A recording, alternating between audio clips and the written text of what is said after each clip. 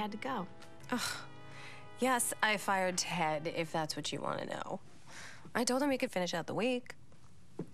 Gave me a few days to find his replacement. This is Margo Moorhead reporting live outside the Culver City Courthouse, where it looks like even more bad news for Blanca Champion.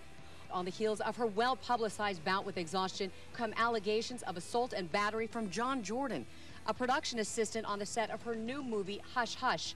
As expected, Jordan filed suit today against Champion and affiliated studios. Allegedly, Champion found the green tea latte delivered to her trailer by Jordan not to her liking.